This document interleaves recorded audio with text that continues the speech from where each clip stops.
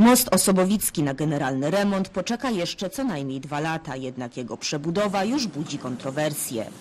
Zdaniem Rady Osiedla Różanka Karłowice na moście powinien być wyznaczony pas dla komunikacji miejskiej i pojazdów uprzywilejowanych, czego zabrakło w propozycji miasta. wypracowany w ramach, w ramach konsultacji wariant, który miasto przedstawiło już po konsultacjach, e, zakłada tak naprawdę ograniczenie e, ruchu dla e, też komunikacji zbiorowej i aut w stronę centrum. Miasto konsultowało z mieszkańcami cztery warianty przebudowy. W jednym z nich pojawiła się specjalna kładka pieszo-rowerowa, jednak miasto zdecydowało się na inny projekt.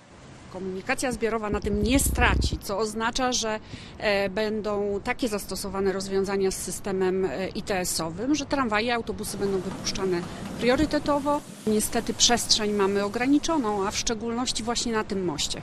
Bo między barierkami mamy 16 metrów, to jest most zabytkowy, no niestety nie rozciągniemy go Z wybranego przez miasto rozwiązania cieszą się miłośnicy dwóch kółek. Wybrany przez miasto wariant zakłada dwukierunkową drogę rowerową. Za takim postulatem był m.in. Stanisław Zacharzewski, który brał udział w konsultacjach społecznych. Ja jestem za tym, żeby była ścieżka rowerowa.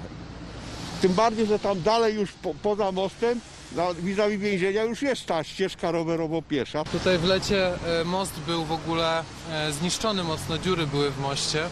Teraz to naprawili, no ale generalnie zawsze jest problem, jak się jedzie i jest sporo przechodniów na przykład, więc ścieżki rowerowe jak najbardziej. Mosty Osobowickie to jedna z bardziej ruchliwych przepraw we Wrocławiu. Korzystają z nich mieszkańcy północnych osiedli. Ale tu jest za ciasno, żeby że tu powstawał jeszcze specjalny bus, e, bus pas. Przyjdzie tramwaj, przyjedzie e, e, ciężar, znaczy samochód, ten, e, taksówka, jeszcze jak karetka jedzie czasami. To wtedy już jest tak ciasno, że nie będzie e, bokiem przejechać tam. Do połowy przyszłego roku mają zakończyć się prace projektowe. Koszt modernizacji zabytkowych mostów to 60 milionów złotych. Wrocław, Monika Drążewska.